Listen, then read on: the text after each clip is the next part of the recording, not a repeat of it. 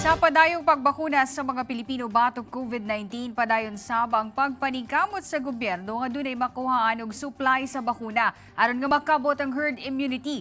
Busag ipasalig sa National Task Force Against COVID-19 nga sa bulan sa Setyembre, doon na steady supply sa vaccine ang nasod. Samtang gihisgutan sab ni Presidente Duterte ang iyang pagdawat sa endorso sa partidong PDP laban nga pagdaganini pagka Vice Presidente sa 2022 national elections. Si Jaira Mundes sa report.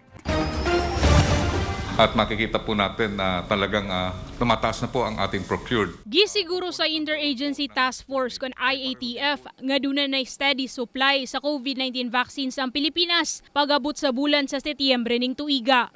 Atol sa Talk to the People ni Presidente Rodrigo Duterte kagabi, gibutyag ni Vaccine Czar ug National Task Force Against COVID-19 Chief Implementer Secretary Carlito Galvez Jr.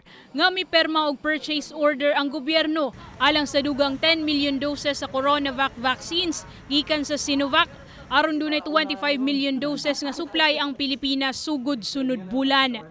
Ito po ay mababa po ang presyo kaysa sa original price niya. So ang nakikita po natin ay talagang medyo gumaganda po ang ano po natin ngayon sa Sinovac. Maganda po ang supply niya steady. Dugang pa ni Secretary Galvez nga ang manufacturer sa Pfizer vaccine mag-deliver og 5 million doses, samtang 3 to 4 million doses ang Moderna. Nagpasalig sab ang Russian vaccine nga maghatod og 205,000 doses sa Sputnik V As of August 24, 2021, moabot na sa 48,522,890 doses sa COVID-19 vaccines ang nadawat sa Pilipinas. Diin kapin 27 million doses ang gipalit sa gobyerno, kapin 13 million doses sa COVAX facility, kapin 3 million doses sa LGUs ug private sectors, ug kapin 3 million doses sab nga donasyon gikan sa ubang nasod. Kaya ang ginagawa po namin talaga, nakikigpit po kami, Mr. President, kasi yung directive niya po na talagang dapat pag-ingatan po natin yung mga baksin yan na tayo talaga maghawak at makontrol, ayun po ang gagawin po natin. Sa karon, ana sa 30,693,019 doses ang na-administer nga COVID-19 vaccine sa Pilipinas.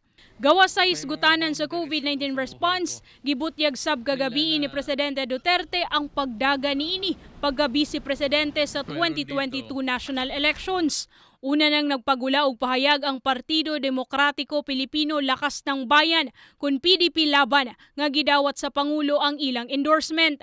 Gusto talaga ninyo? O sige, tatakbo ako ng Vice Presidente. Then I will continue the crusade. I'm worried about the drugs, insurgency. I may not have the power to give the direction or guidance but I can always express my views in public. Jaira Mundez para sa Bayan.